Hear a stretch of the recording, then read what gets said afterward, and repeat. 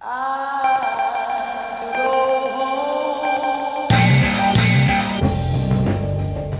everybody, Chad Westport here, and I wanted to make a video today to explain the difference between a white paper and a proper scientific research paper, because there's absolutely a difference between the two, yet they commonly are intermingled and confused as the same thing. So I want to break this down, and real quick, let's define what a white paper is.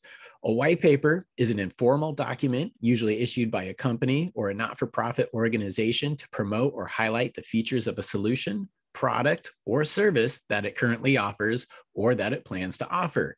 Um, an example of that is a lot of the research that you see on lighting companies' websites. Obviously, their research seems to always support their concept that their spectrum is the best. So, white paper generally holds bias.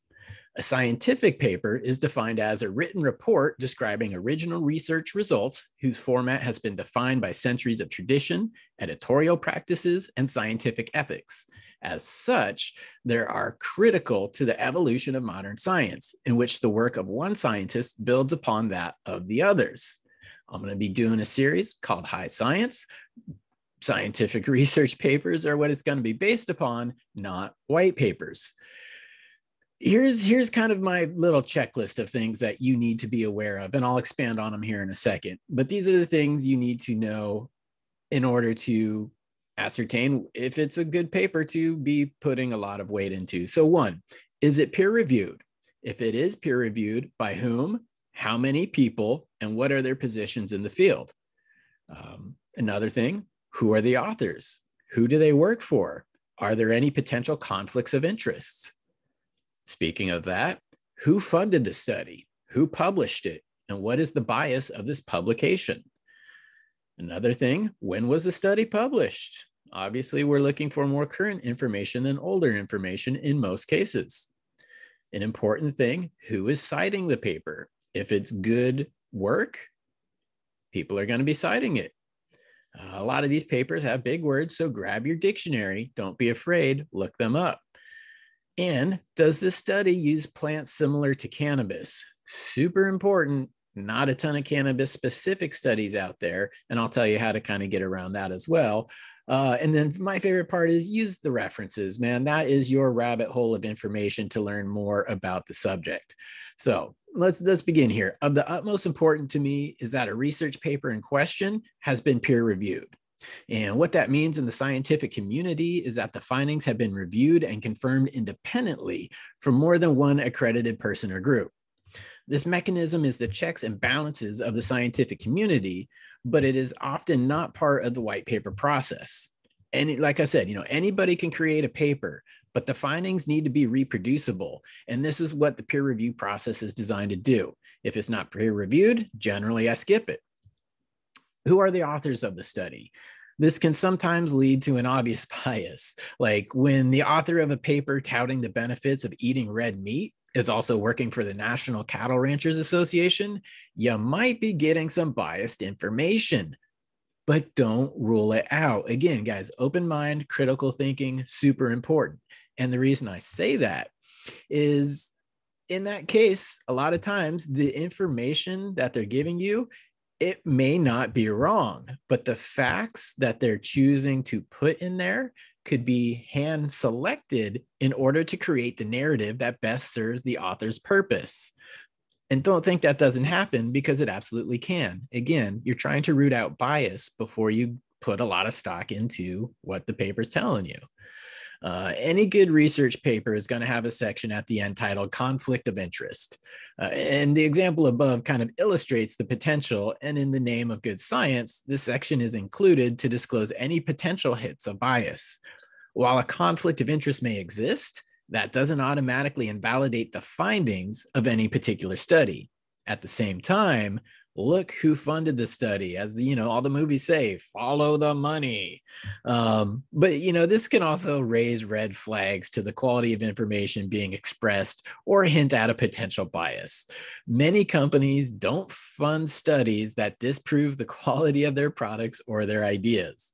Generally they're only funding research that will support their opinion. Again going back to the hand selecting or cherry picking information in which to present you Sound familiar, NIDA? National Institute of Drug Abuse another story. Uh, but we're rapidly gaining new knowledge about cannabis. And thanks to a relaxation of laws and regulations surrounding studying this plant and the chemical profile, countries like Israel and Spain are leading the way with new medicinal research. But many more are interested in the internal workings of cannabis. And that is what we're trying to figure out here, because oftentimes we're trying to maximize our efficiency and ultimately yields. Um, I, I, mentioned earlier, you know, look for something new. It's important to look at the date of the published paper. You you may be looking at one that eh, could be disproven by now, or it could be adjusted with new evidence, or it could simply be studied further. The majority of cannabis specific papers will generally be from 1990s up until now. Um, but you know, don't count out older ones. THC was discovered in 1963, so we know just because a research paper is old doesn't mean that it's invalid. But one thing is constant over time, and that's new technology. We often have better ways to measure and calculate findings compared to the past. And for this reason, I always, again, encourage people to seek out the most recent studies that they can find. Oftentimes, if older research is valid in the eyes of the new author, again, go back to the definition of scientific paper, the new author that old work will be included, it will be cited, and it will be listed in the reference area at the end of each study. This is a good way to build confidence in the information that's getting provided to you. So, to kind of summarize, facts can be cherry picked, they can be selectively used to support the opinion of the author. Another mechanism to check the quality of paper's content is to see where, by whom, and how many times it has been cited in other research. And cited means quoted as evidence or justification of an argument or statement, especially in scholarly text.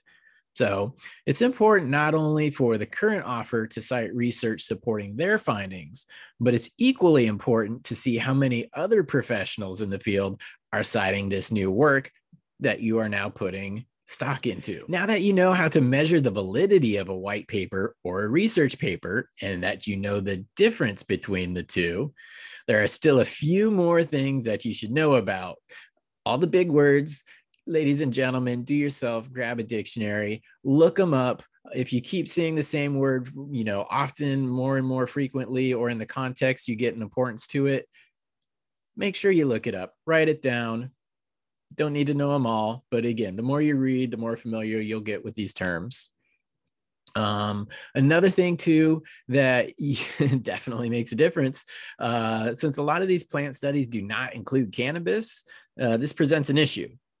There are many types of plants, grasses, herbaceous plants, woody shrubs, trees, vascular, non-vascular, seed-bearing, spore-bearing, angiosperm, gymnosperms. There's a whole bunch of crap out there, ladies and gentlemen. So make sure that you're looking at a plant that is similar to cannabis.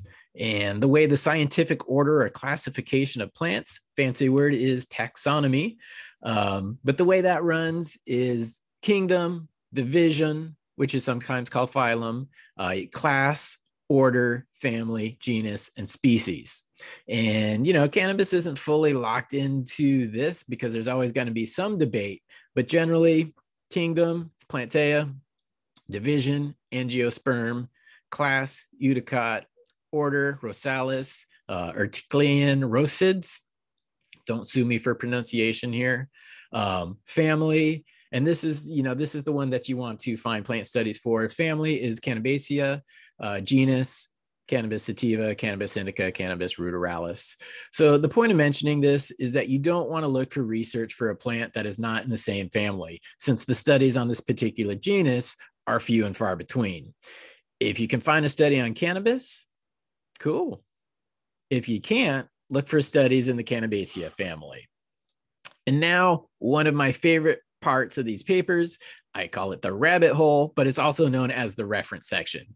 And this is where all of the citations from the current author's work is listed. Uh, these are the backbone that support the author's position. And here you can view the individual studies and get a deeper understanding of the individual points made in the current paper. Again, it's the backbone, it's the legs that they're standing on. Proper research will have dozens of references at the end, and this is where your rabbit hole of knowledge begins for any particular subject at hand. Again, you can just pew, go down that rabbit hole. Try it sometime. Reference section, awesome. I hope this has provided you with a guide for how to discern the quality of information you are receiving from the many educational papers going around. It will be many more years and even decades before we have a complete understanding of the cannabis plant. But that doesn't mean we need to wait around and wonder. So get out there, do some research on similar plants, and hopefully we can unlock the mysteries of our friend, the cannabis plant. And now you know the difference between a white paper and a research paper, and you know the things you need to look at to weigh its validity to the conversation. So I appreciate your time tonight. I hope this helps some people out. And uh, remember, party on. Ah,